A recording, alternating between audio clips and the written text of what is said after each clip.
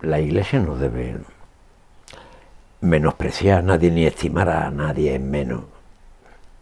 Por encima de las leyes, por encima del aspecto legal, jurídico y formal de todas estas cosas, la iglesia tiene que ser madre de misericordia y tiene que acoger a sus hijos siempre, sin preguntarle nada.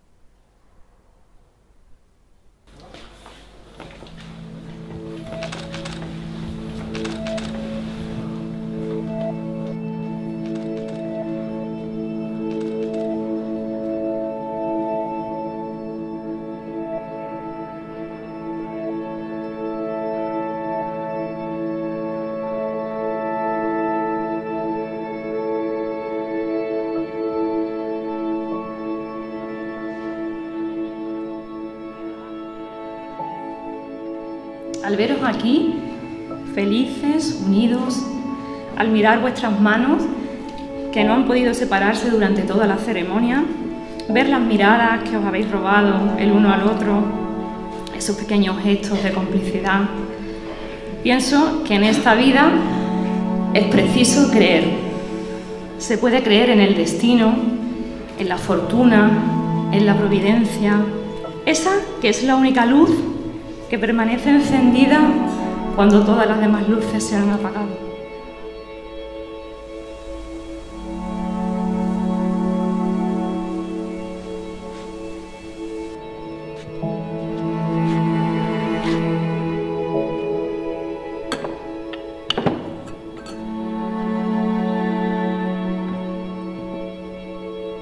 Dice que se conocieron casualmente por internet sin dar mucha importancia a lo que les estaba pasando.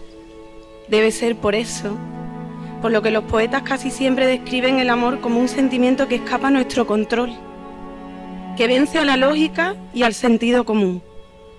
Unos lo llaman destino, ellos parece que prefieren llamarlo casualidad.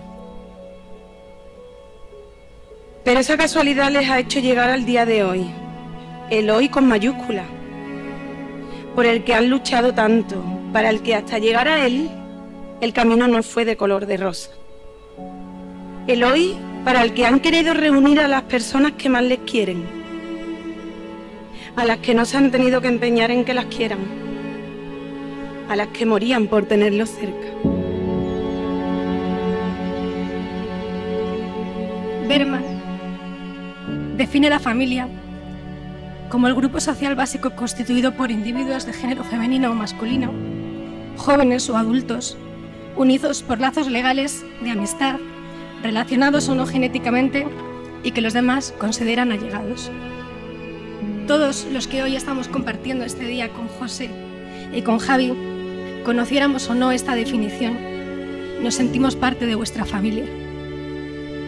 Una gran familia que no solamente incluye a las personas unidas a vosotros por lazos legales o la genética, sino que incluye a todos los que nos sentimos felices de formar parte de esta familia. Tú eres mi hermano, tú eres mi José, eres mi hermano. ¿Y qué os puedo decir? Los quiero. ¿no? Y es que no encuentro palabras para. para llenar esto, la verdad.